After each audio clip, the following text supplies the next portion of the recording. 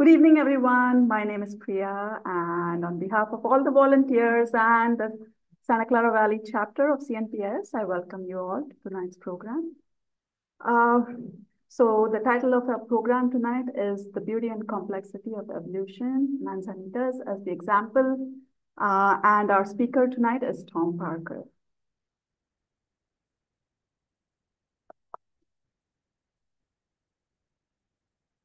This is the team that's bringing you the program. I'm Priya. Uh, your greeters are Grace and Deb back over there.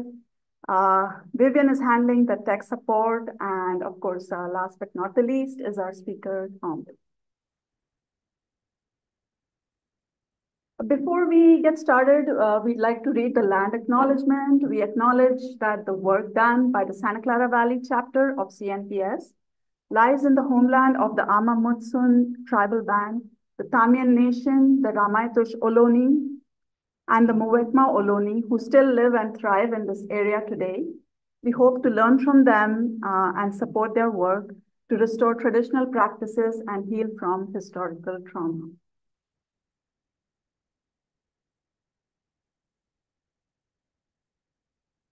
So uh, how many of you are attending a CNPS program for the very first time? Uh, if you can let uh, me know.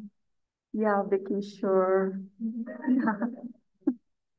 okay, so few of you. So welcome uh, to this uh, uh, to this talk. So CNPS is a nonprofit environmental organization. it's founded in 1965. It has more than 12,000 members and 36 chapters spread not only in California, but also Baja California. The Santa Clara Valley chapter, of which we are a part of, um, covers Santa Clara and southern San Mateo counties. Mission of CNPS is to protect California's native plants and their natural habitats through science, education, stewardship, gardening, and uh, advocacy. If you're not already a member, uh, we encourage you to join and uh, support our important work. Uh, when you're uh, when you're a member, not only are you helping support California's incredible biodiversity, but you're also creating a wonderful habitat for the critters in your uh, garden. Some of the benefits include Artemisia and Flora journals. so these are two journals published by CNPS. You'll be getting them. Blazing Star is our chapters newsletter. So it has everything about uh, events such as this one, how you can participate, volunteer, upcoming activities, field trips, um, everything that you would like to know.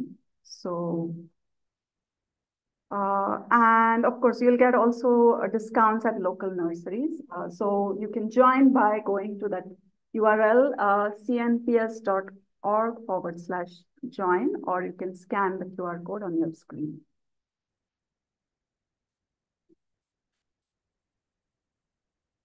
Some of the upcoming events. So a March, April is a very busy time for a chapter. We have lots going on. And this is uh, most of it, I think. Yeah, uh, yeah I um, try to include everything here. So uh, coming up is our photo group meeting, which is an ongoing uh, photo group uh, event that's held on Zoom um, on Fridays uh, once a month at 7 p.m. So if you have photos to share or if you just want to get some photography uh, tips, uh, please join us. Vernal Pool Wildflower Walk, Tours. These are a series of tours um, organized to look at vernal pools in, in the Fremont area. Um, so the dates are mentioned there and uh, the times are all different. You can uh, see the details on our chapter website. Uh, I have to mention this is for uh, this particular uh, tour is for CNPS members only. So if you're not a current member, please sign up uh, or you can ask one of us back there to help you sign up and join our chapter. Newsletter mailing party is the next event that is uh, on Tuesday, April 23rd. This is at our office in Palo Alto, uh, our chapter office in Palo Alto. So this is where we are going to mail out our chapter newsletters, uh, which we do usually now only once a year since uh, COVID. it's mostly online. So uh, the upcoming newsletter is going to be a physical newsletter, which is going to be mailed out. So we need some help for that. And if you're interested in um, joining us for this work party, please talk to me after the event. Native plant ID, again, this is also in our office in Palo Alto. This is again on Tuesday, April 23rd at 7 p.m. Uh, this is where we help everyone identify um, native plants that they have. Uh, you can bring cuttings or you can work with photos. We have microscopes, hand lenses, and we have books that will uh, help guide you to identify whatever you whatever you need to ID. Wildflower Walk. This is in Rancho Cañada del Oro in Morgan Hill, Sunday, April 28th, uh, 10 a.m. to 2 p.m. And the last one is our ongoing habitat restoration projects. Uh, these are at Lake Cunningham Park and Cataldi Park. Both are in San Jose. Both are parks in San Jose. Uh, we do habitat restoration there on Saturday mornings. Uh, and the, we basically maintain the native gardens. We do planting, uh, weeding, mulching. So um, you can, you're welcome to join that as well. You can find more information about all of these events uh, by going to our website, cnps-scb.org um, or Meetup. Meetup has most of our events on it. So uh, you can see, scan the QR codes. The first one on the left is for our chapters website, and the second one is for our chapters meetup group.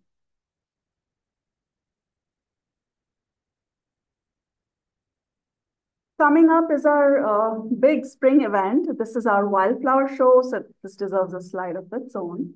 Uh, this is uh, on Saturday, April 27th. Uh, this is organized by our chapter uh, along with West Valley College. Um, it's from 9.30 a.m. to 4 p.m. And um, the theme of this year is bringing uh, biodiversity home. Our keynote speaker is Bart O'Brien. He's going to be talking to us about creating habitat and beauty in your garden with native plants. So apart from his talk, yes, uh, Tony. Yeah, of course, yeah. Um, so uh, apart from his talk, we are going to have workshops and tours. We are going to have uh, booths that you can shop from. Um, what else? Uh, oh, the most important thing. You're going to have hundreds of uh, wildflowers and plants on display that you can take a look at. You can photograph and you can read the labels and everything, get to know them. Um, we'll also have music, uh, and it's a family friendly, friendly event, so bring the family along. Um, you can find out a little bit more about this by going to uh, the first link on the page, cnps-scb.org forward slash WFS for Wildflower Show. And of course, we need uh, your help in making the show a success. So uh, we need help for two days, the day prior to the show, which is uh, Friday, uh, April 26th, and the day of the show, which is April 27th. There are different shifts available. Uh, you can uh, volunteer for one or more, whatever uh, works for you. And information and how to sign up is on the second link on that page. Tony is one of our volunteer, uh, one, one of the organizers of this show. So uh, do you want to say something, Tony? Um, just yeah, I just wanted to add to what you were saying that um, we are in need of volunteers for this process this year. So um, uh, if you have questions that you'd like to volunteer, uh, for Friday or Saturday, uh, come up and talk to me. Uh, I can give you a lot of information about the different kind of positions that are available, or if you receive create email, uh, it's also listed in there about the volunteer. So, yeah, you definitely have a lot of fun. Oh, there's free food. Yeah, there's free food for volunteers Friday and Saturday. So yeah, I forgot that part. Okay. Thanks, Tony.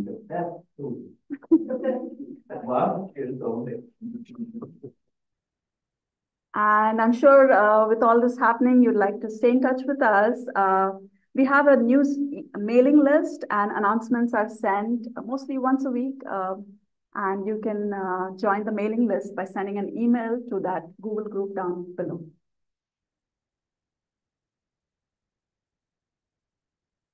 Just some housekeeping before we begin. Uh, please mute your phones. Um, we're trying to record, so we'll try to keep the lights on during the presentation. Uh, we'll finish by around 8.30 p.m. or so. And uh, uh, there will be time after the program to ask questions. Finally, for, uh, for the program tonight, um, our speaker is uh, Tom Parker. Tom is the professor of biology emeritus uh, at San Francisco State University, where he taught for 40 years before uh, retiring from teaching. Uh, he was educated at the University of Texas and the University of California, Santa Barbara, where he completed his MA and PhD.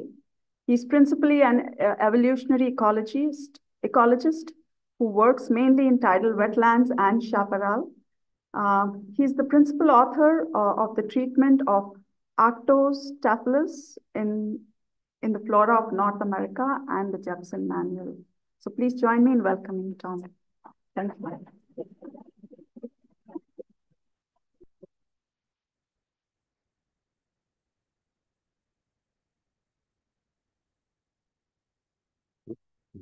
from the beginning.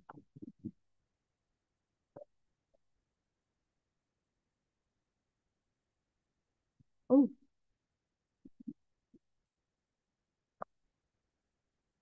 Is your book in one hour? What's that? Is this your book in one hour? It is. Except I'm not gonna tell you, any skiing trade. Oh, right. Um, we do give workshops if anybody wants to ever learn how to identify these, these creatures. Um, this year is at Chico State, so it's a bit of a drive.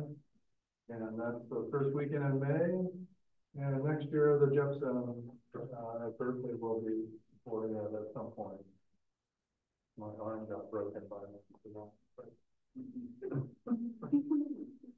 Um, I'll just use. Yeah. That way, it won't look crazy.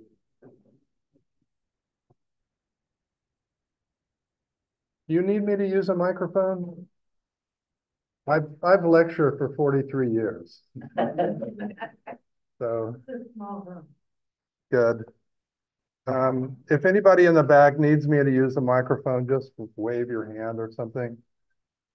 Uh, I want to talk about Manzanitas today, and that's the genus Arctostaphylos. This is a group that I worked really hard not to work with, if that makes sense. Um, I had a student uh, in the early 1980s who wanted to work with uh, woody plants that had uh, obligate seeders, which are shrubs that are killed by fire, and those that resprout after fire. So two different life history responses and yet depend upon dormant seed banks uh, to uh, regenerate their populations, both groups.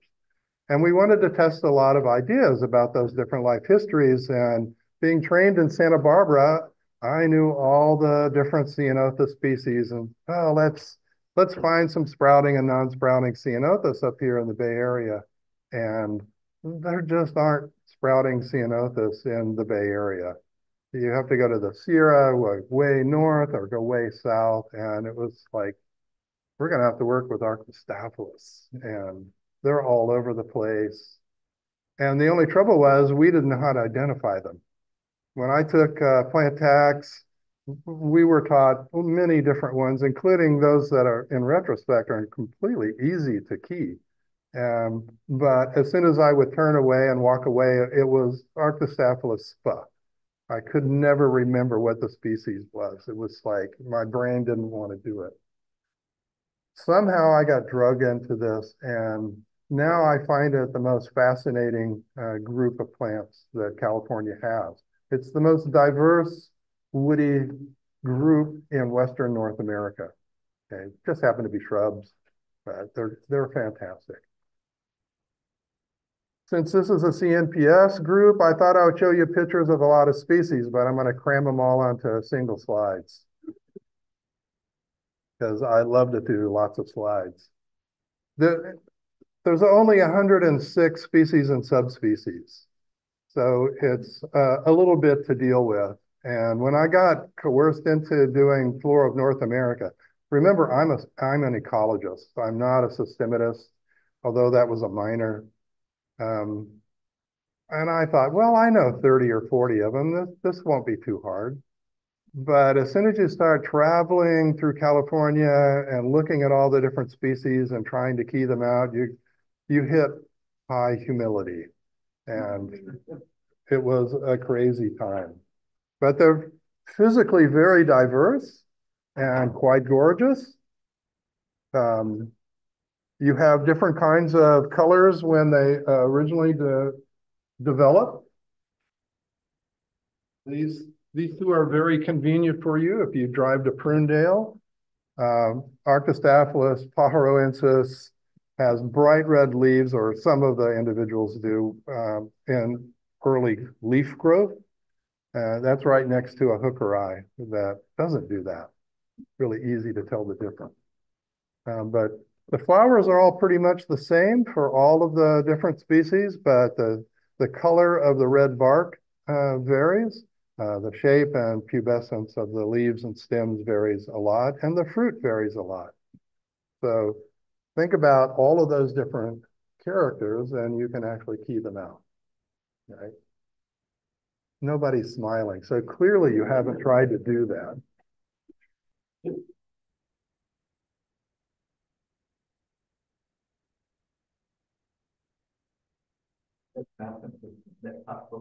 Uh, this, the top photo on the left side is Imbricata, that's San Bruno Mountain. You get to, if you crawl to the right spot, it covers an entire ridge. And it's prostrate. Uh, yeah, and that's San Francisco in the background. I thought I would introduce you to a few of my favorites. I only have about 30 or 40 favorites, so only a couple. Um, this was my first favorite. Um, it has some outcrops in your mountains, in the Santa Cruz Mountains on the other side of 17. Uh, but after that, you have to kind of jump way north and um, go all the way to Mount Tamalpais. And that's where I fell in, in love with this plant. Um, it's heavily canescent, and canescence just means it's got gray hair. And it has beautiful flowers, and some of the ones on Mount Tamalpais are pink flowered. Uh, so the white and pink together is just stunning. But as you go further north, because that species goes all the way to Oregon, they're mostly white flowered and much larger after that.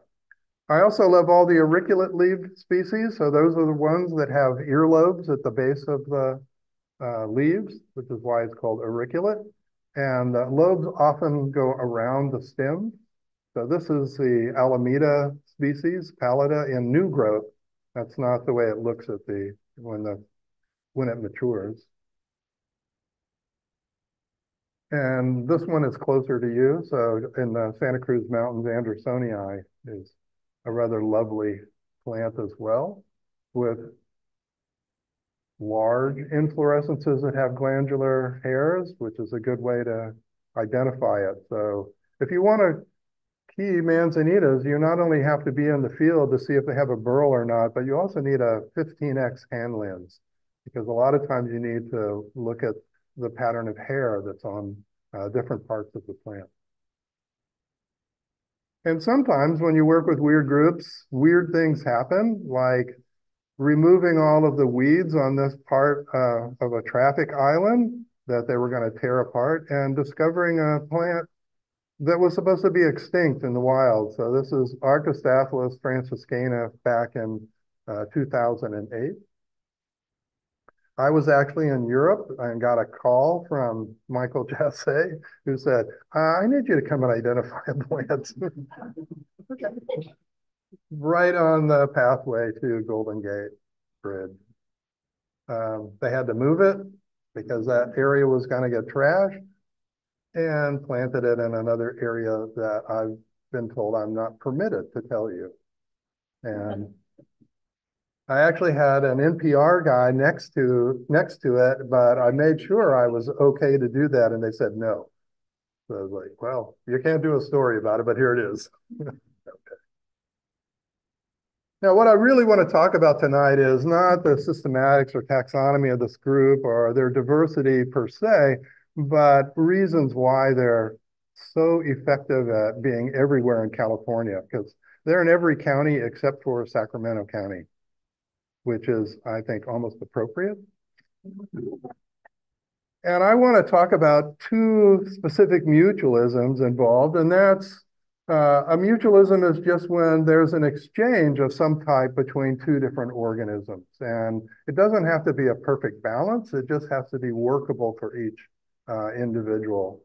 And you're familiar with a lot of them because there were a lot of photos during the earlier presentation by Priya of pollinators. And that's an obvious mutualism where the pollinators get nectar or pollen and the plant uh, gets fertilized. So that's a nice exchange between those two. And for manzanitas, they're actually pretty important for bumblebees and a lot of native bees because they bloom in winter uh, right as those things emerge. And they're one of the few major uh, nectar sources. early flowering is something to keep in mind for later. A lot of different kinds of pollinators. So that's one you're familiar with, but I want to talk about another mutualism that's actually very critical for the survival of these creatures. Because if you go look for manzanitas, what kinds of soils do you find them on? Do you find them on miserable, shallow, no nutrients, it dries up fast. So the worst kind of habitat uh, that California has to offer. And the reason we still have so many manzanitas is they couldn't be converted to agriculture or forestry. That's the kind of place. If you travel around California, you notice a few things as background for what I'm going to talk about. And that is that manzanitas almost always occur with conifers, if conifers are available in that habitat. Have you ever thought about why that is? As an ecologist, you're, you're programmed to look for patterns and then say, is this a real pattern and what's causing it? This is a, a white leaf uh, manzanita that's in um, coast ranges that co-occurs on serpentine areas with uh, gray pine. And that's a little north in uh, northern Napa County. Here's one closer to you, glutinosa or Schreiber's manzanita with knobcone pine. Uh, that's on the Lockheed uh, Reserve that you can't get on. It's a great place to go. It's got two species of manzanita only found on their property. And you have to make all these arrangements to get there because it's a secret, you know, place for military stuff. And what's really cool is the first time we, we ever got onto the site, um, they sent a, a guy to watch us the whole time. And he said, don't take pictures of any of these things, which were broken down things where they used to do missiles or something. I don't know, but it looked really strange. But he also, I had, my first job was in New Jersey, and he just reminded me of organized crime guys. and I expected him to pull a pistol out or something, but it was a very strange experience. Um, where, where is that place?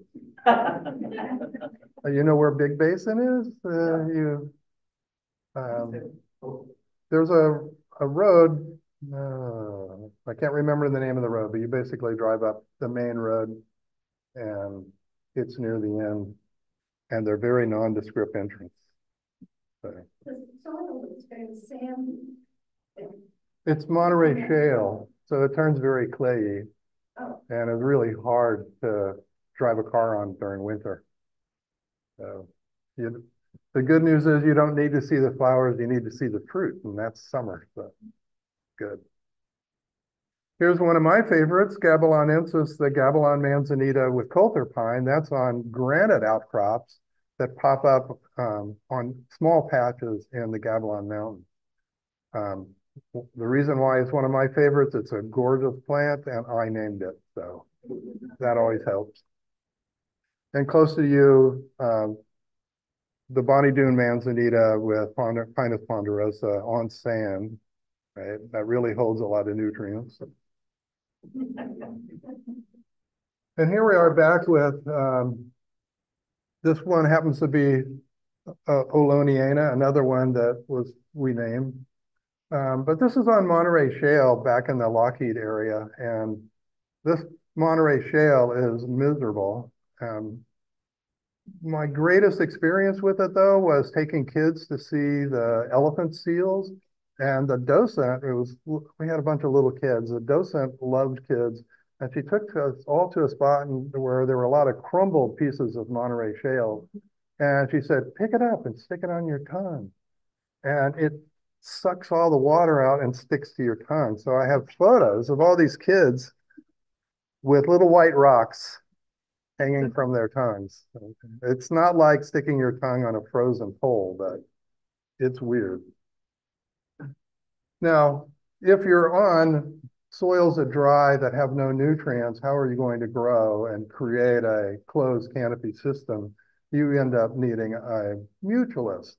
In this case, it's a fungus, and the fungi are actually highly diverse. There's hundreds and hundreds of them that associate with manzanitas. And what they do is they form a sheath around the root of hyphae, and some of the hyphae penetra penetrate into the roots of the plants, and it's called a mycorrhizae, which literally translates fungal root. And there are hyphae that leave that area and go into the soil, break down organic matter, take up any of nutrients and water that's available, and bring it back to the plant. And the plant gives it um, molecules that are close to sugar, but basically energetic molecules so that it can have energy itself. So it's an exchange of water and minerals, and it gets uh, carbon compounds uh, from the plant. A lot of different uh, organisms that are mushrooms that you see in the forests or chaparral if you crawl around uh, after the rains. And this is what the mycorrhizae look like. Uh, on this side is one on uh, Douglas fir. Um, that particular fungus also grows on manzanitas. On the other side, Lactarius uh, on a manzanita. And notice they have slightly different structures, though the same species will actually form different structures because the conifers will form this style and the members of uh, one subfamily of the Ericaceae, of which manzanitas are a part, form that other style called arbutoid. And they both have sheaths that wrap around the roots. And the only real difference is the way the hyphae penetrate into the roots. Um, in the conifers, they just stay in the cell walls and the spaces between cells. I know you love these details, but I do. And in the arbutoid, they also penetrate in the, the spaces between cells and the cell walls, but they also push into the cells and push against the plasma membrane, the cell membrane and increase the surface area contact with, with hyphae so the exchanges can happen uh, faster. Kind of cool. Lots of beautiful things. I got pretty good at IDing mushrooms for a while and but you know, you lose that through time. It's it's work. So this is a mutualism that's shared by um, close relatives of Manzanitas. Arbutus, the madrone, is another example. Um, the other thing you need to know is that they also share a large proportion of the same fungal species with conifers and a smaller proportion with oaks. And that creates a different kind of ecological dynamic in a, in a place like California. So as a mutualism, the manzanitas are providing the fungi with carbon, so it has a source of energy, the fungi, and the fungi provide minerals and water, and that's, the, that's that key mutualism. But what is also pretty interesting is if you go to stands of different ages and you look at the percent cover of uh, ectomycorrhizal um, shrubs, so oaks, shrub oaks, but mostly manzanitas. Um, and then how many trees are invading those um, habitats? The more uh, manzanitas you have in a stand, the more trees will begin to invade uh, that stand. And eventually they'll take over uh, the manzanitas. There are places in Marin that hasn't burned since uh, World War II um, where the manzanita stands are basically gone in lots of places, and Douglas fir has taken over the site. And you can find all the dead bodies of manzanitas in the understory, slowly uh, beginning to rot away. But that creates this incredible dynamic. So you have a stand of manzanitas in places, but because they have that mutualist that can be shared by conifers, that conifer seeds can get in there, that facilitates the stand of manzanitas converting to forests. And that takes a while. It's not a span of time that humans uh, normally observe, right? Um, but you would notice the stands of manzanitas slowly uh, shrinking through time if you started young and kept going out there. But the good news is we have wildfire. I think of that as good news, right? And that creates uh, opportunity to return it back to manzanitas because manzanitas have dormant seed that sits in the soil for decades and decades and is stimulated by fire to germinate. So the fire takes out the conifers, stimulates the manzanitas, and they all uh, come right back up. So you get them back again. What's EM? EM stands for ectomycorrhizal, uh, which is just the physical structure. So. Okay, so that was one of the mutualisms I just wanted to mention to you because it has that nice dynamic and you can see it in the mountains around here. Uh, you can see it in Bonny Doon um, and the areas where both of those fires have occurred in the last 15 years um, because the knobcone pines have really uh, increased in, in cover in the sandy areas. And if you hike back to the schist areas, uh, they're not doing quite as well, but there's still uh, a lot more conifers than there were before the fire. Uh, so they're, they're doing quite well. But I want to talk about another um, mutualism that I've been investigating more uh, recently. And to do that, I need to go into some evolutionary con context for you. And so I want to ask the question, where did manzanitas actually come from? How old are they? and what do their close relatives look like? Because if you look at close relatives, you can often um, make hypotheses about what characters have evolved through time. So let's take a look. And it turns out that manzanitas are bloody old. 15 million point two or 15.2 million years ago is the oldest fossil. And lots of younger fossils, but these are the oldest ones that have been found. So that puts it as, well, compare humans, we're a little over a million. So these, these creatures have been around for a very long time period. And they're a part of Western North America is where all the fossils have been found in what you think of now as Nevada. But uh, 15 million years ago, there wasn't much of California. The coast ranges were a series of volcanic islands uh, the Sierra Nevada didn't exist. There were pre-Sierra uh, areas. And Nevada wasn't the valleys and uh, the basin and range kind of mountains and valleys that you see now. It was what they called the Nevadaplano. So it was a high elevation plateau in much of western Nevada. And that's where all these fossils originate from. And there was a huge river that came off that went into California. That's where a lot of the gold uh, originated from and ended up in California. So that's a really interesting, but that's really a long time ago. So let's think a look, uh, take a look at its close relatives. And manzanitas are a part of a very small subfamily of the Ericaceae. And if you don't know that name, you know the family because that's rhododendron, blueberries, cranberries, heathers, heaths, all of those things. But there's only six genera in the Arbutoideae. One you surely know, the madrone, but there are 10 species of uh, Arbutus, the madrones. Um, a lot of them are in the Mediterranean region. Um, we have one. Um, Arizona has a distinct one, and Mexico and Texas have all the others. So um, they're distributed in two widely different places. Comarostaphylis or summer holly, there's 10 species and 10 subspecies, and that's mostly Mexican. We have one species in California. uh, Comarostaphylis diversifolia. Or the Baja birdbush and the Mission manzanita only have one species in each of those genera, and those are Southern California and Northern Baja. So do you guys go down there and botanize? Have you seen these creatures? Yeah, okay. You do know Arctostaphylos, though, the manzanita, 106. There is a very weird genus, though.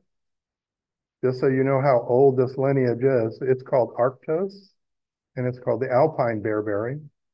And they're only found in Arctic and alpine locations, not in Mediterranean climates like all the rest of them, and or seasonal. Do you like trees? Family trees? Yeah, I probably shouldn't ask you if you like them or not. This is just a family tree. And these are out groups, and they are just to help see, you know, make the sequence of branches be chronological to the best of knowledge of people doing it at that point. And I put a box around the Ericaceae, the, the rhododendron heather family. But I want to, what I want to show you is that the manzanitas are part of the Arbutoideae, which is a very early diverging group, and it has no close relatives, and nobody looks like it. So it's really distinct uh, within the Ericaceae uh, as one of the subfamilies. So I thought I'd let you see what these guys look like. You know madrones. Um, you probably know strawberry tree, which is Mediterranean, that is a horticultural thing all throughout California. And there's a hybrid madrone that's all over at least Southern California. I don't, I don't know how much is planted up here. They have these nice uh, fleshy fruit. Um, most of them have smooth red bark, but not all of them. It's even much older than Arctostaphylos. So the fossils in Western North America go back over 30 million years. Okay. Uh, there's one fossil that's 52 million that's kind of controversial. We're not really sure if it's Arbutus or not, so we're just going to stick with over 30 but that means it's twice as old as the oldest fossils that we can find of Arctostaphylos. So the other thing for you to think about is, well, if they started in North America, how did they get to the Mediterranean? 30 million years ago or so, the Atlantic Ocean was pretty narrow. Yeah, uh, the ridge in the middle of the Atlantic Ocean that is pushing North America and Europe apart, it wasn't that big. So it wouldn't, wouldn't have been too hard as long as it was before 28, 30 million years ago. Then it gets harder. But that it's not impossible. You just need a bird that's constipated. So here's the distribution of arbutus. The one on the west coast, that's just our madrone. And Mexico has another nine or so. The numbers keep changing. And the Mediterranean has uh, three. One on the Canary Islands, that little blue dot by Africa, and two in the Mediterranean area. Summer holly is another gorgeous one, uh, at least in flower and fruit. It also has uh, fleshy fruit and bell-shaped flowers. Most of them. What's that? I have once. there are two individuals in the Santa Barbara Botanic Garden. In Southern California, I've only seen them in flower. What's that? Were they different? Sorry. Oh, madrones, they make uh, a jam in Europe from it. I don't know if, if anybody's done that here, but Native Americans ate it. Um, they're not that sweet, madrones. Um, this one I'm not sure about. Um, and there's a reason I'll show you why in a second. The Baja birdbush, smooth whitish bark, um, and the fruit now are very different. They're dry when they're mature. They're not fleshy.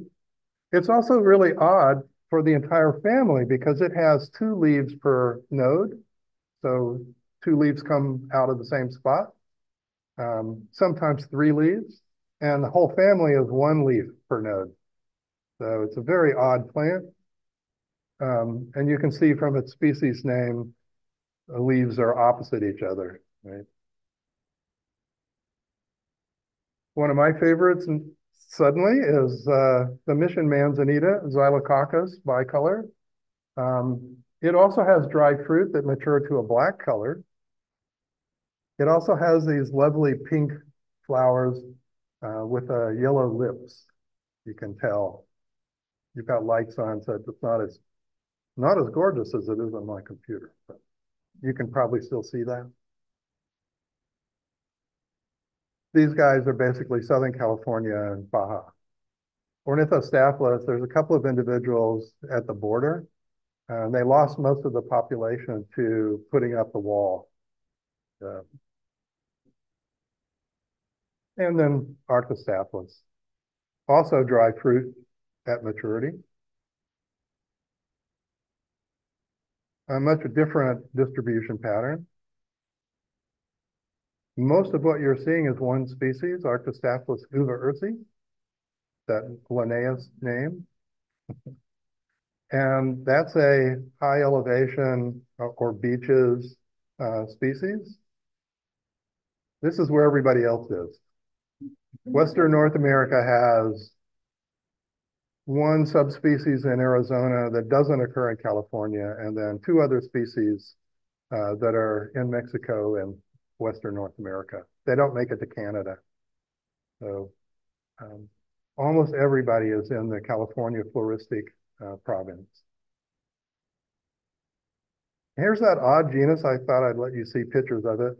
There are two that are good species so far. Arctous alpina, um, which has the same kind of flowers, and it has uh, black fruit as well. But these are succulent, fleshy fruit, kind of like the madrones and the holly.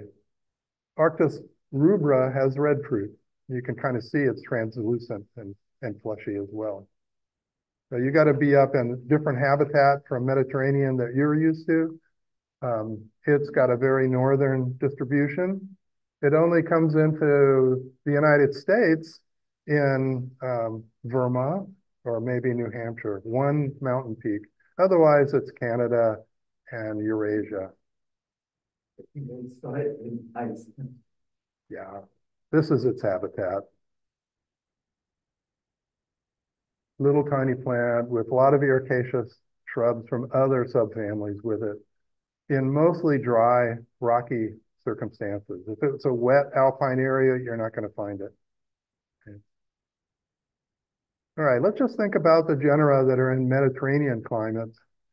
The, the older lineages are trees, and trees are in forests, and they they have relatively moist conditions. They have deeper soils. Um, they have surface fires as the common fire, not canopy fires, although they do get canopy fires. Um, madrones and oaks all resprout, by the way. Uh, and they have birds and rodents that are particular to forests. They prefer forests. But as the middle Miocene arrives, we're getting to warmer, drier conditions in, in Western North America. And you, you start having shrublands uh, begin dominating different areas. And now you're in relatively drier habitats. Um, the soil, the, the soils are shallow. Um, and because they're short, you end up with only canopy fire. So everything's going to burn every time there's a fire. You can't run a fire beneath a shrub, right? Your birds and rodents and other animals are now going to be distinct uh, from what you would find in a forest because uh, birds and rodents prefer different kinds of habitat. So you have very different ecosystems that you're moving all the shrubs into from where the madrones were. So let's see what happens to them. And we'll only talk about reproductive traits um, because it's easier. And I don't have to go into leaves and stems and xylem and phloem, all those wonderful things. So you already know the madrones have the fleshy fruit. They have five chambers if you open up one.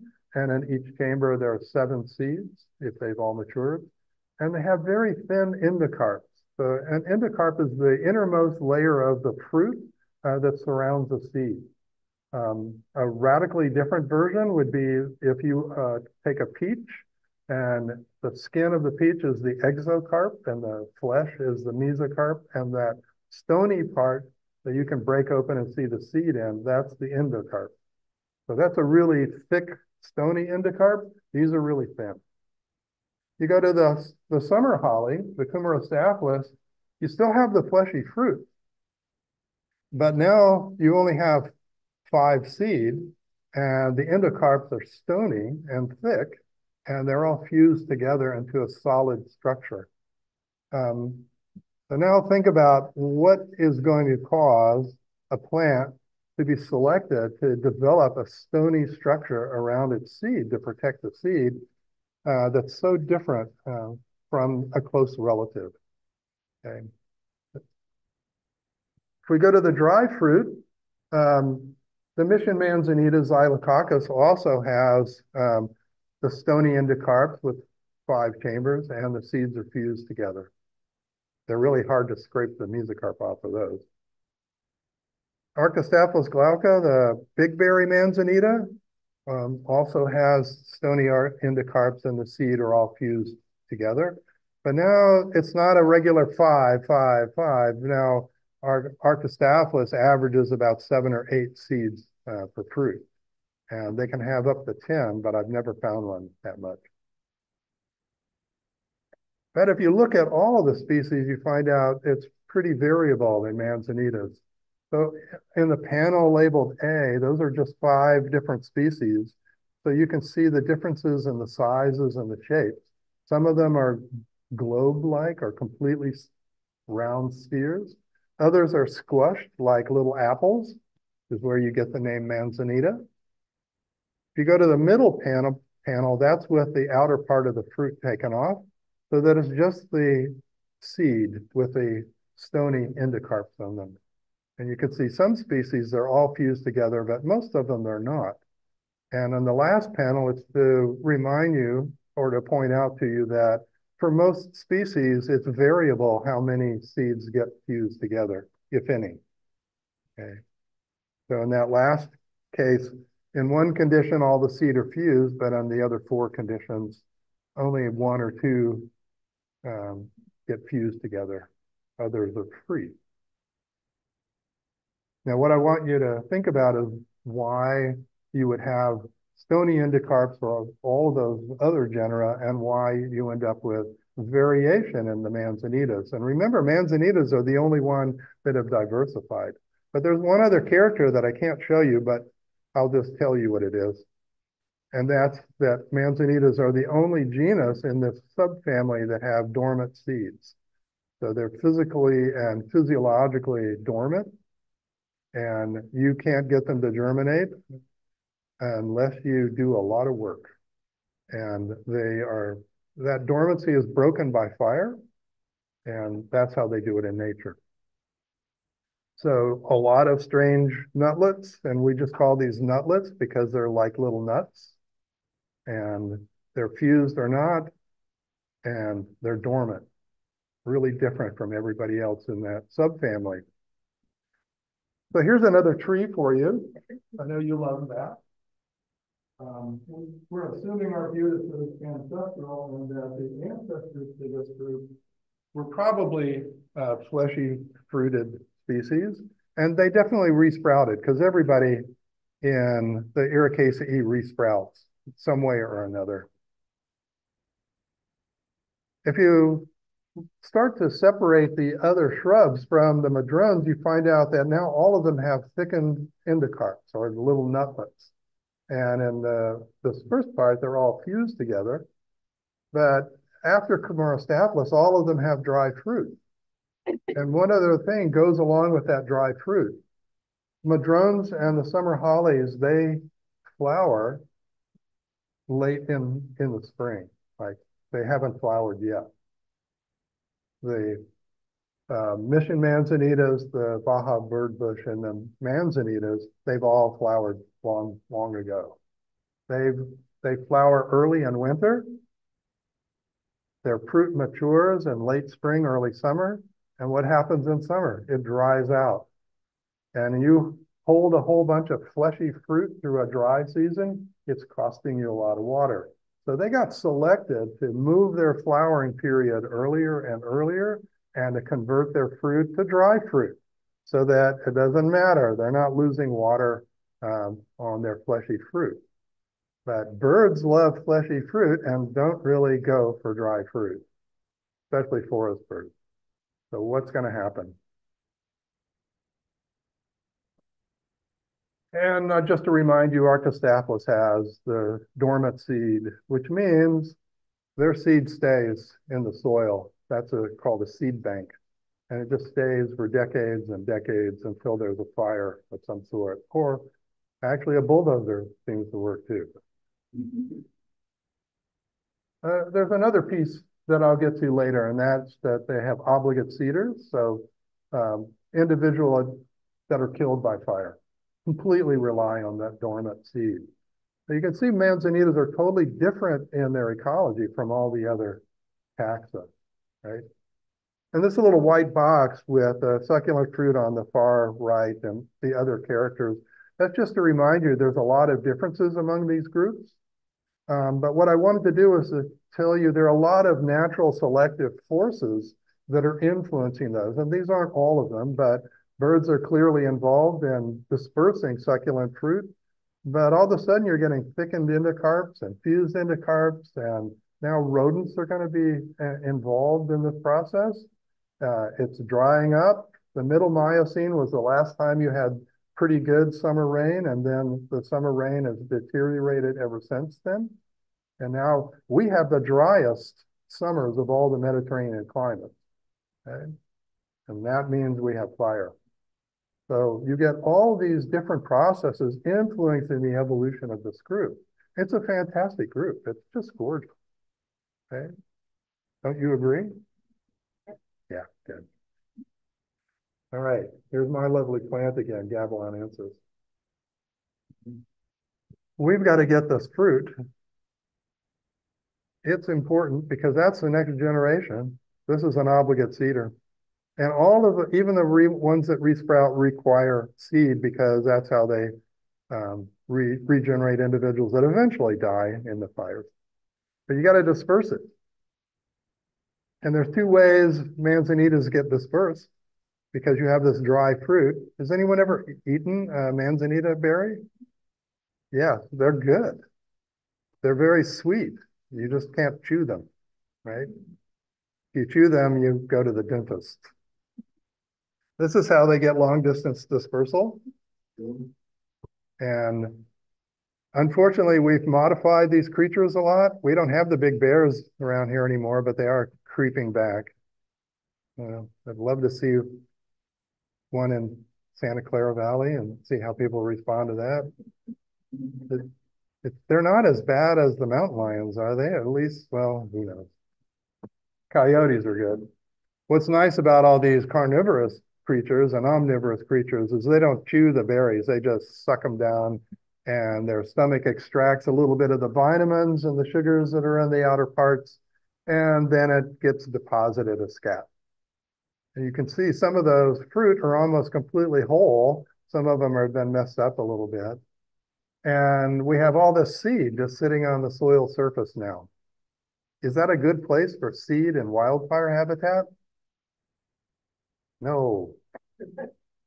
Come on, you can do this. We need fire. I know you guys live in dangerous places here. Yeah, so do I, but I made sure I live close to the coast and I'm pretty safe.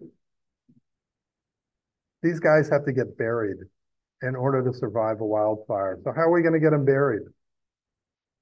If you go to a place after a wildfire, this is Bonny Doon after the Martin Road fire, you find the little seedlings coming up. You notice they already have red bark?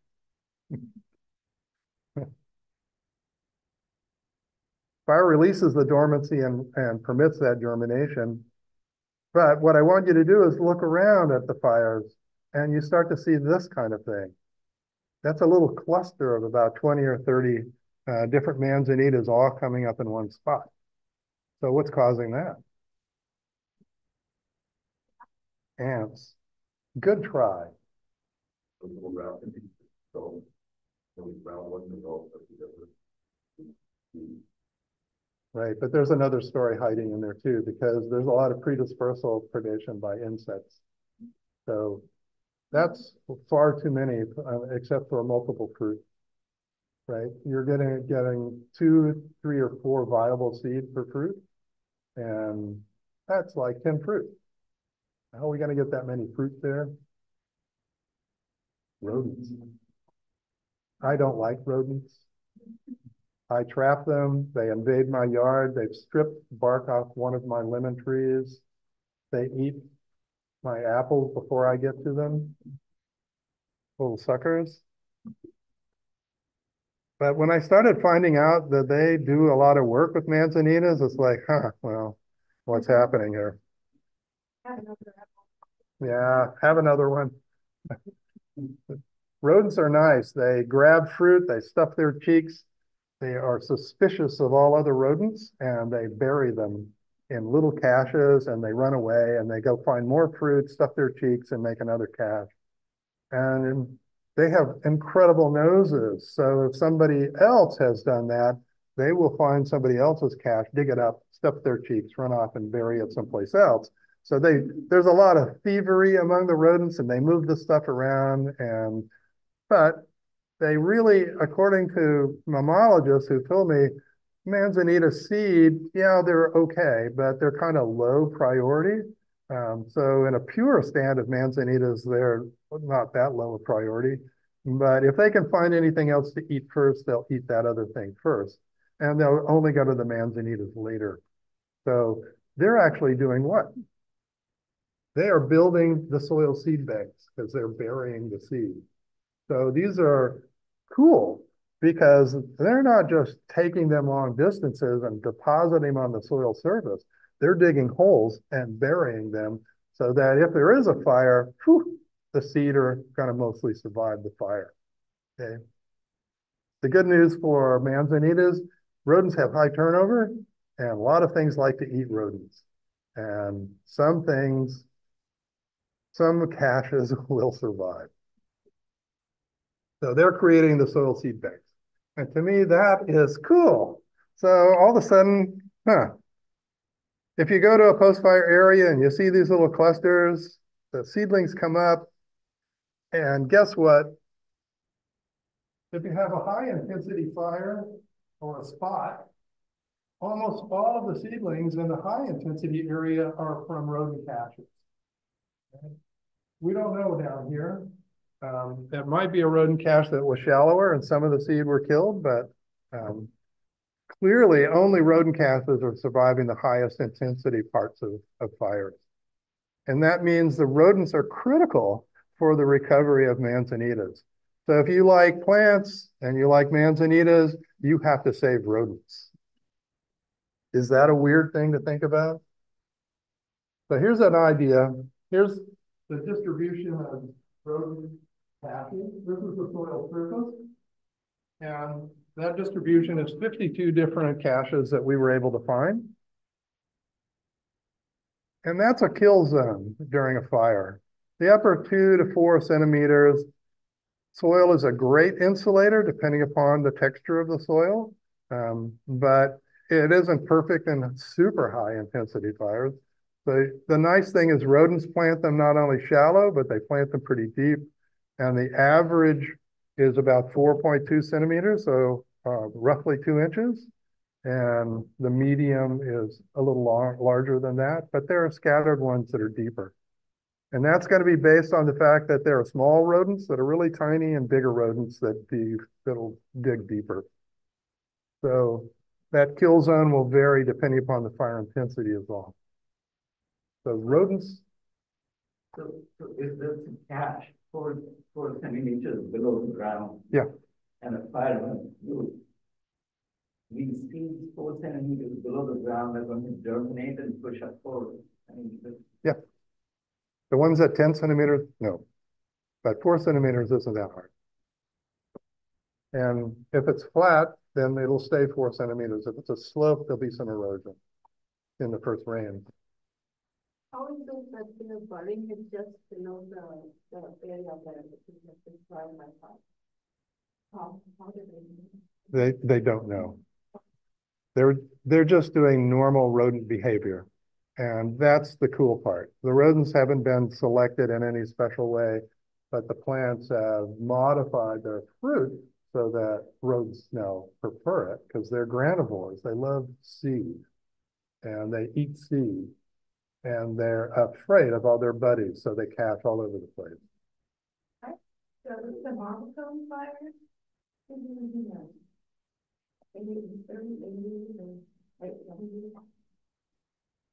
Down by Carmel Valley, and that was quite intense.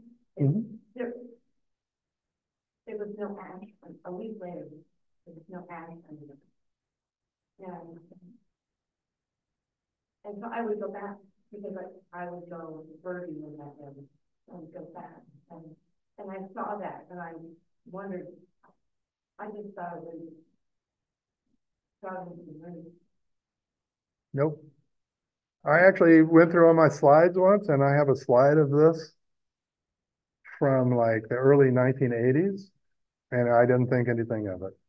It was like, isn't this cool? I mean, maybe there was a hole and a little fruit fell in it or something.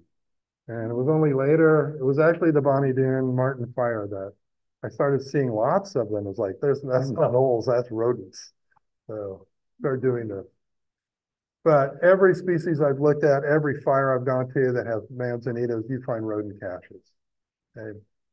And you, of course, you have to do experiments to prove that they're rodent caches, right? Otherwise, it's just hearsay. So we did a simple experiment, putting fruit in a petri dish on top of a pizza pan with fluorescent powder. So the rodents want that fruit. They have to cross the fluorescent powder get it on their feet. And the nice thing is they leave little fluorescent trails everywhere. And you just get those techs to do the crawling. So I, I had a colleague out there with me. He was the one taking the photo. He's older than me. We found two caches. The women found 50. Uh, Now, I did find four others, but they had already found those caches and moved them again. But there was fluorescent powder about three centimeters below the surface. So there used to be fruit there. And this is what it looks like when you're crawling around.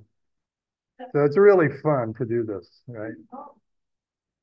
It's always good to take younger people with you. Um, the caches were Bonny Doon's fire. This is Fort Ord, where we did the experiment. Oh. So all these bloody rodents, they're not so bad. They do a lot of work and they're critical, it turns out, for the survival and dynamics of manzanitas. So that's kind of my story. This plant-rodent interaction is a mutualism right? There's an exchange. The plants produce tons of fruit. The rodents eat the seed. Um, but they also bury the seed down into the soil below where at least some of the seed will survive fire. And now the manzanitas can regenerate their stands. Okay. So you end up with these persistent seed banks thanks to the rodents that are doing all the work burying them. The manzanitas have persistent or now have dormant seed, so they persist in the soil for long time periods. And remember, we've got resprouting manzanitas. They also require um, dormant seed. And manzanitas evolved this new character that's only in California in shrubs and flowering plants is only in Arctostaphylos and Ceanothus. And that's obligate seeders. And those are where the adults are killed by fire and they completely depend on seed in the soil to uh, regenerate their populations. And Ceanothus, the rodents just eat the seed. Uh, they're small seed and they, they work their way down differently. Uh, there's very few rodent caches of Ceanothus I've ever seen, so two. Um, but for manzanitas, it's critical because their fruit are large And they're not going to go through uh, soil. Where did that seed dormancy come from? Well, it's part of the mutualism that the rodents started. They started caching stuff. They didn't have, their ancestors didn't have seed dormancy. That seed would just germinate. All their close relatives, the seed germinates.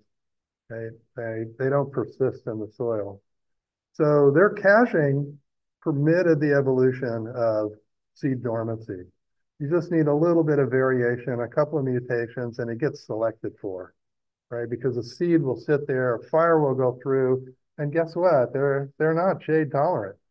And after a fire, there's lots of sun.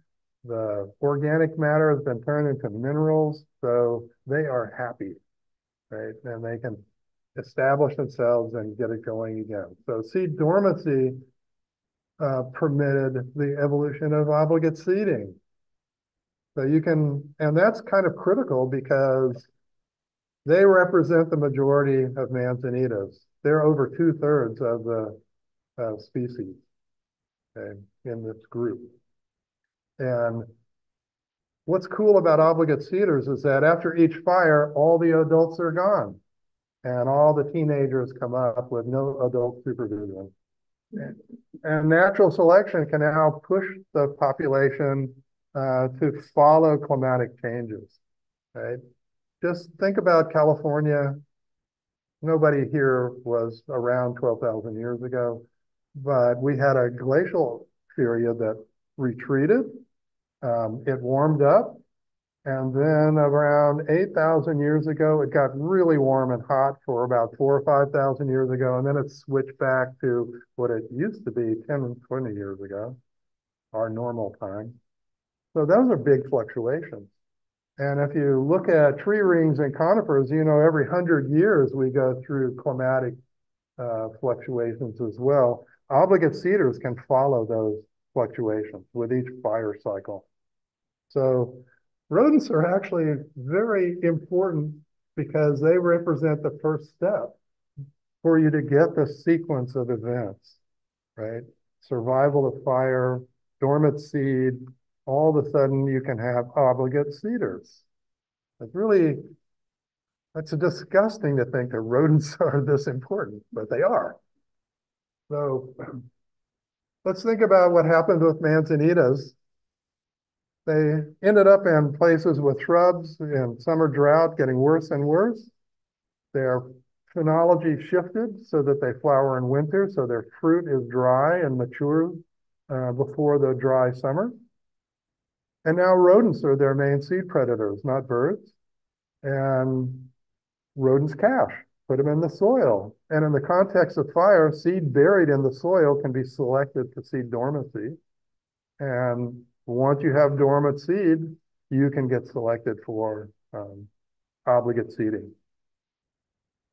You guys recognize that there is an obligate seeder that you're also familiar with, and that's knobcone pine. It's killed by fire and it keeps its seed in cones. It doesn't rely on rodents except when the cones open and the seed falls on the ground. Guess who gets them?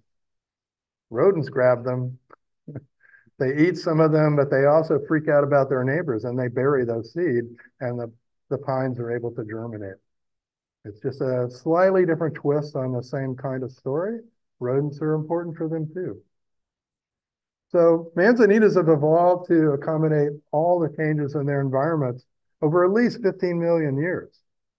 Uh, the increasing summer drought, uh, miserable poor soils, they already have those nice mycorrhizae to, to help them out.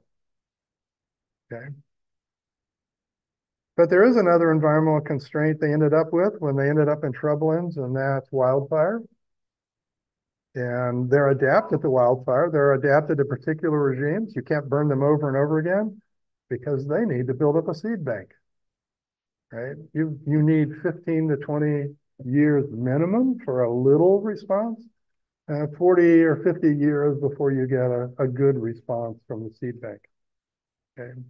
So go protect all those manzanita stands from cow fire. wants to grind them up.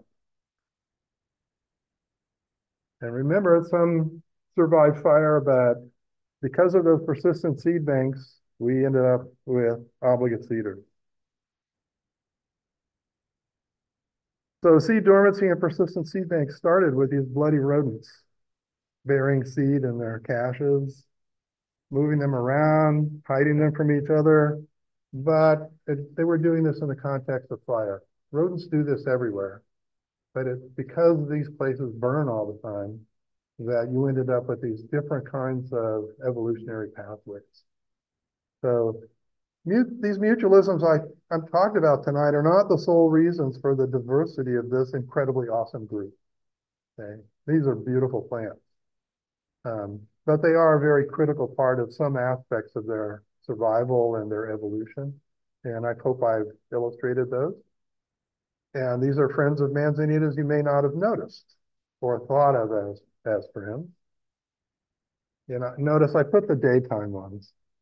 All the other rodents you have to crawl around at night. And I don't do that. I, I use trail cameras with infrared lenses and lights. So, okay. So a beautiful group of plants, thanks to rodents.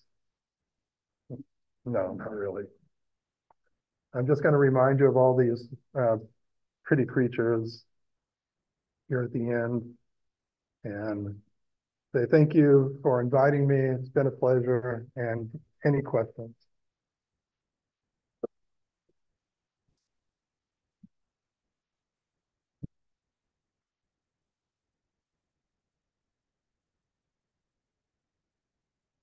Whoa. Can, oh, um, can the, can the microalgae on the, uh, and the, uh, from? Um, they, they do a little bit, but, um, no. The, the bottom line is no. So the man did the seed that entire property, Um, they love fire. it doesn't, like, Uh, they require chemicals from smoke to break dormancy. Is that close enough?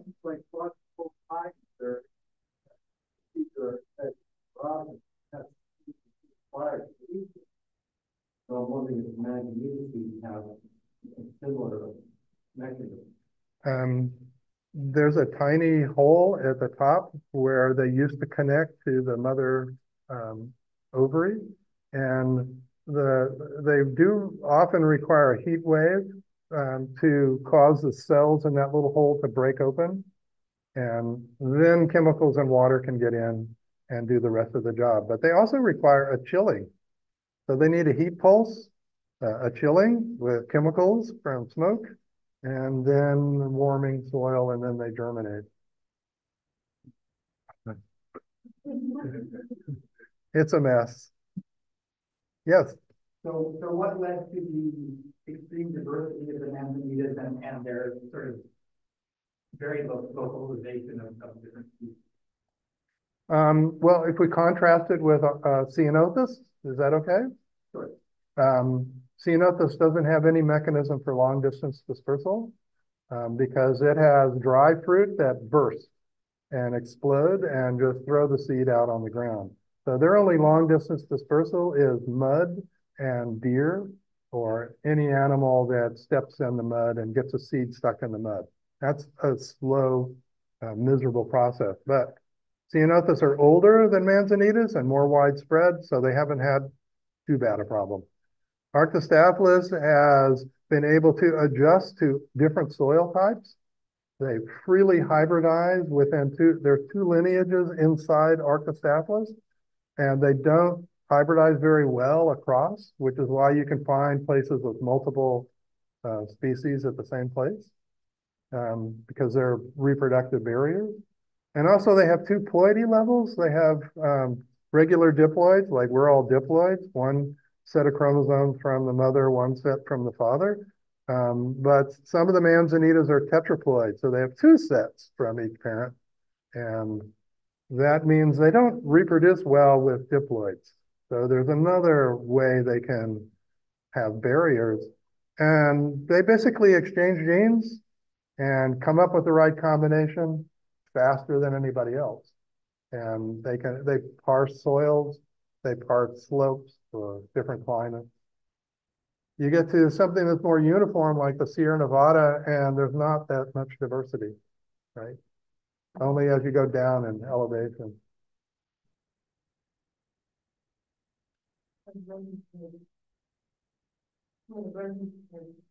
Sorry, I'm also deaf. Where, where the zoning is.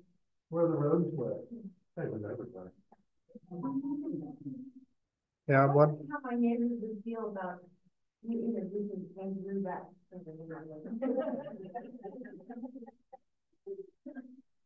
I think it would be fun. Uh, they need kind of soft soil. Their arms are kind of short. Yes,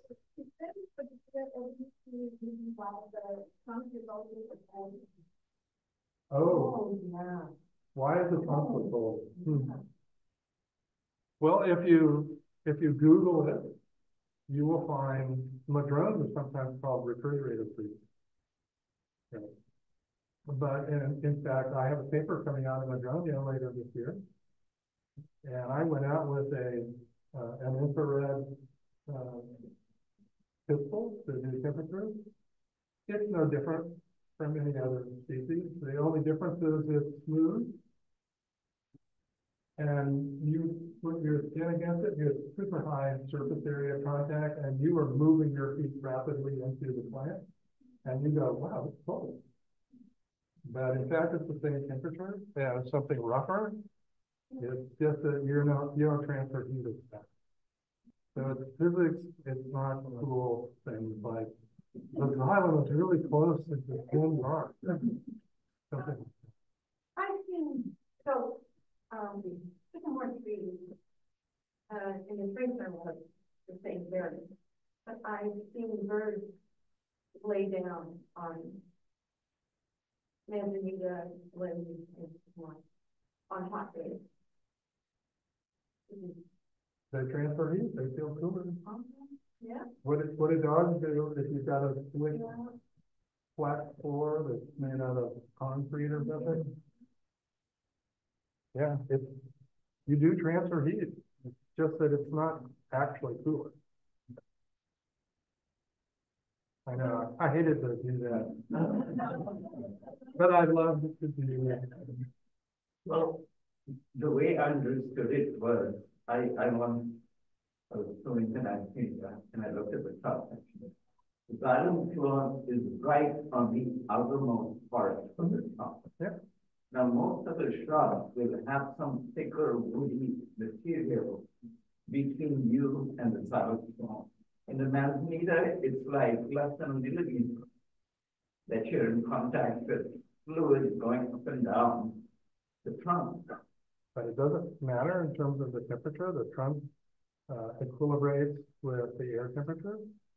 And in the sun, it depends on what the color of the bark is.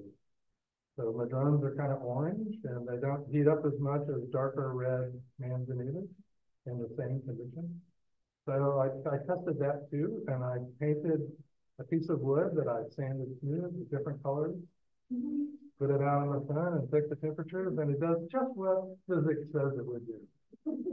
Uh, the more dark you have in uh, color, the hotter it gets. You Move the same colors into the shade, they equilibrate with the, their temperature. Oh, because the fall section, why is not so smooth? What's that? Why is the bark so smooth? Oh, that's a speculative question. Um, some people think it's uh, a way of getting rid of uh, epiparasites or uh, epiphyll, epiphils, so things that attack, uh, attach to the plant, like lichens, um, um, parasitic bugs. Everything flakes off and everything to the ground. Um, the only trick is with, um, manzanitas, they have striping where um, the, the bark dies back and, but the cool thing is ants live there. Ants will invade those stripes, form little colonies. That'll keep them. Yes, I just want to thank you, um, I've really gotten into fungus here. And I'm reading a book called, um, Named Candy's Life. I'm a bird. The author's name is Merlin. I want to say Sheldon, but, um, it's kind of a birdie name. But, yeah, my mind is all. I just don't see things. I just see fungus now. So, pretty cool, thank you. Well, now when you go out, you'll see a little rodent patch. Yeah. Dug out. I'm gonna be looking at the room. for Now, ironically, sometimes it's not a cache that was dug up, it's an underground mushroom. that was dug up. Ah, yeah. Especially up in the Sierra. Yeah. No other questions? On.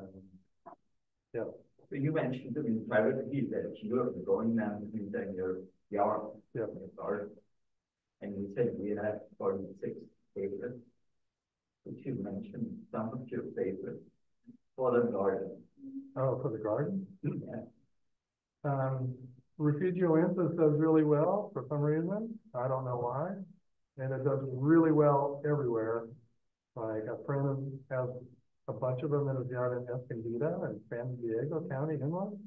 I'm on the coast. It took a while to establish because I'm a shale clay. Um, but once it established, ten years later, it's doing happy and um, the prettiest one in my yard is uh, Island Manzanita. Santa Cruz Island Manzanita insularis. Um, horticulture uva-ursis has taken over parts of my slope. Uh, Franciscana has taken over parts of my front yard.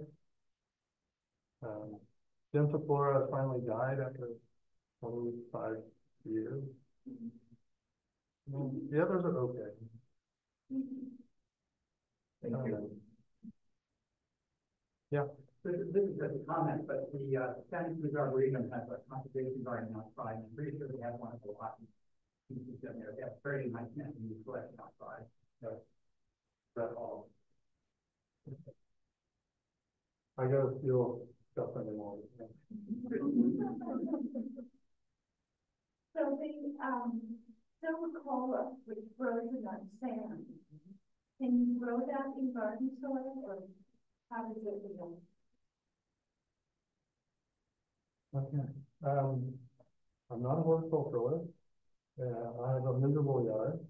It's, it's scale, it breaks down the clay, uh, and it's very thin. So the thin soil is good, except I do have to water in the summer.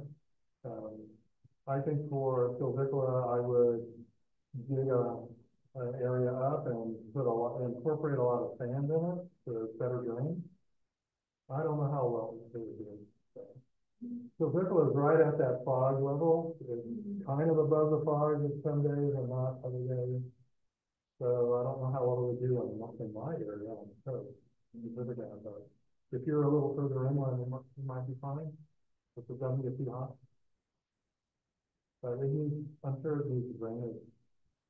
Um, I planted one in December, we had all that rain, and I think that's why it died. Formed. It looks like it might be a parent for, um, glutinosa. One of the parents, and glutinosa is on Monterey Trail, so it might have some flexibility for soil, we just need a bad year. I have it in my heart. I thought, and I had it for three, almost three years ago, except it's not really young at all. It's not happy. It's not a happy plant. It's heavy. It's still hanging in there. The Bickle is like a junior ranger of connection.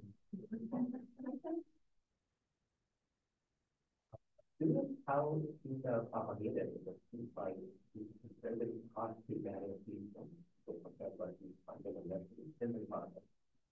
Hundred percent, so it's safe. It's almost almost heading front of that.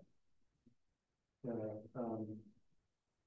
There there was a study by, uh, three Mexican scientists, raised the German, uh, the Mexican organism. Um, And that was the, give it a smoke, give it the chemicals, uh, in water and, uh, kill it. And then they got full germination, stuff, they got germination. And I, I can get germination by giving a lot of chemicals and then putting a lot of aluminum on it. Um, you can mess with them. Sometimes you'll get some that they're, they have low seed viability as part of the problem. And they get invaded by insects, by the fruit of the thing. Yeah. If you open up a lot of fruit, you'll find larvae. Yeah. Was the question in the back? Um, regarding that same topic, um, how people have better luck using that? No. I, I haven't tried that one. Don't help. Um, can you talk about, um, how to help Tasmanians feel up better from breathing? Or is that no help for them? Um, I don't think they do well with breeding. Um, and I would like a, a horticulture. Um, there's a, there's a guy, Phil Van Soelen, who lives in Sonoma County. He's thirty, forty, and I knew he lived around it. He was super successful at reading, but he's, he's kind of like a man eater just for, I don't know how it works, but, um, I don't prune them, and they do fine. They just look different. But, and.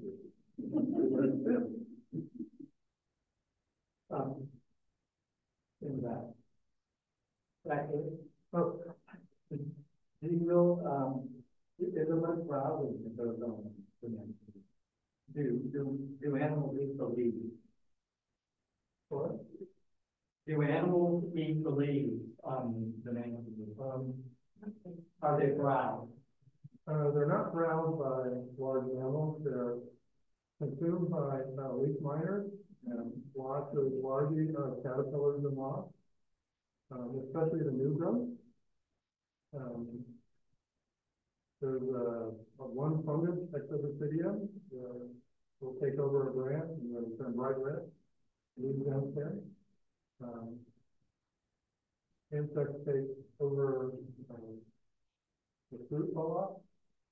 Was one for PhD student who studied the greenleaf manzanita, the Sierra species is widely distributed in the West. And he found like three hundred insects associated with manzanita. About hundred and eighty of them were herbivores. Um, hundred and forty were predators of those herbivores. Like a whole, a whole world in there. Uh, wood rats will take a branch, strip the leaves off, and then eat the bark. So sometimes you'll be in a manzanita stand, you'll see a pile of green leaves. We got a wood rat nearby. But they, they're eating the phloem, or the sugar zone.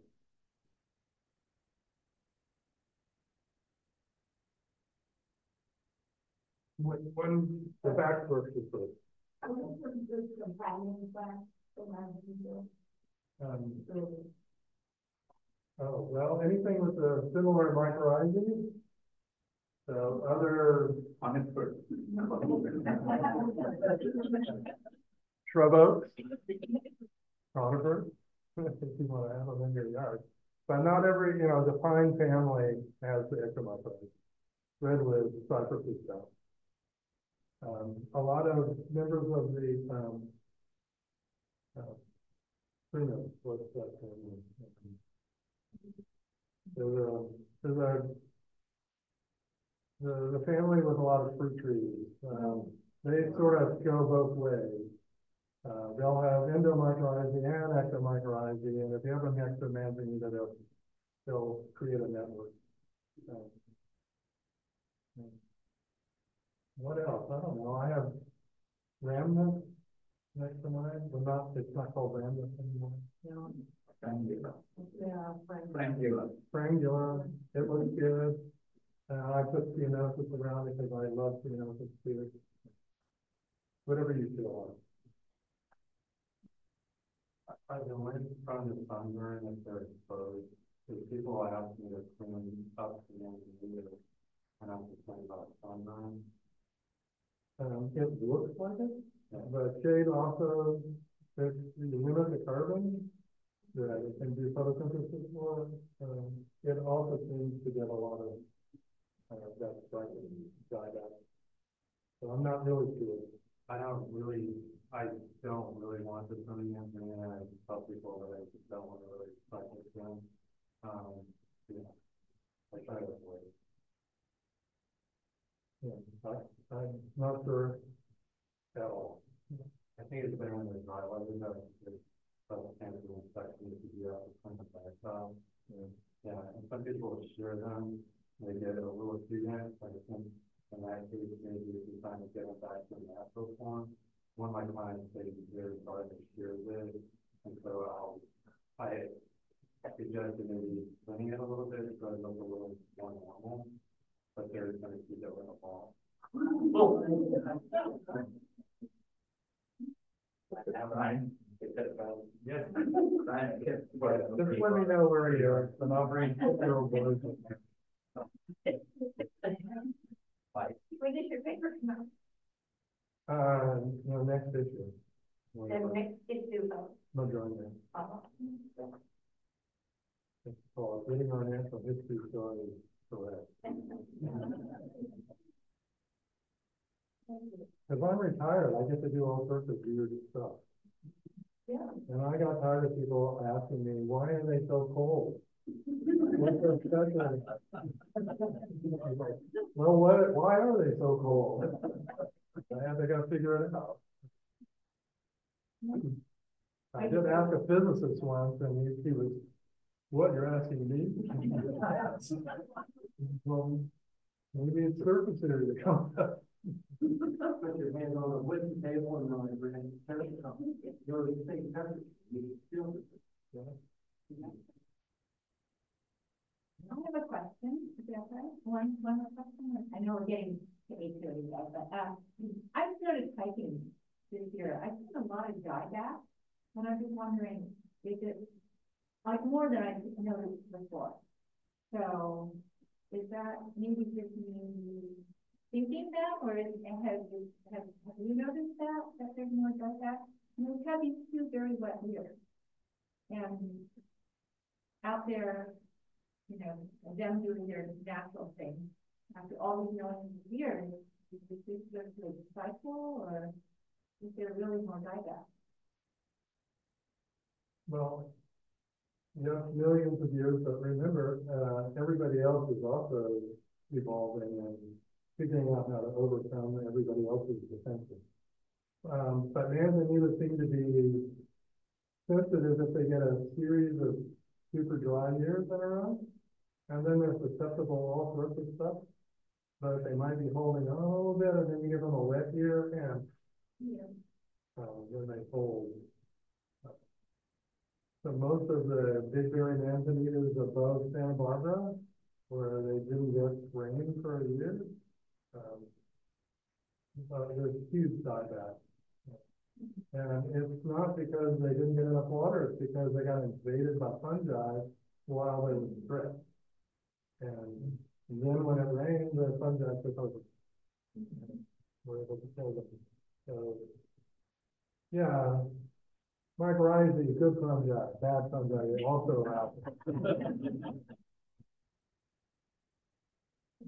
One last question. I didn't plant that, um, smooth bark question, but.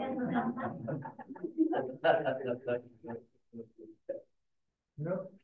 Um, if you like manzanitas, there is a field guide. I'm a co-author on it. You can get it. I brought a copy if you want to see what it looks like, to see if it's worth your while. It's cheap. I get a quarter of a book, so. You only got like one, I mean, I already gave you. You got a first edition form and a second edition form. Yeah, exactly. You got all the errors out.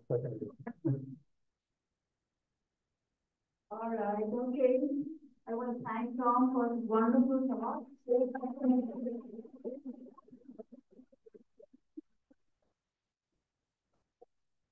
And I just want to put in a plug for our wildflower show. It's gonna be great next Saturday, the twenty-seventh. Oh, there's West Valley here? What? There's fishing happening this year. And also a reminder that there is that vernal pool field trip. That's the first one is this weekend on Saturday. So you still have an opportunity. It's only for members. And you have to contact the organizer. So, Just a reminder, there's one on Saturday, because it's not in the Blazing Star, and it's only on our field trip page on the website.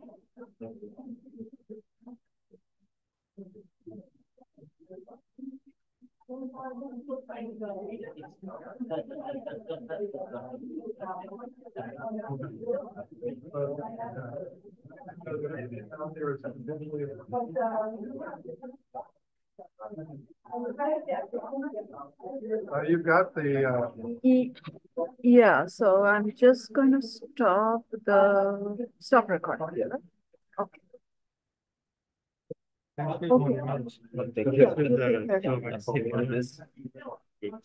At the base, there's like a couple of years ago, and I didn't know if it was on record. It's sort of-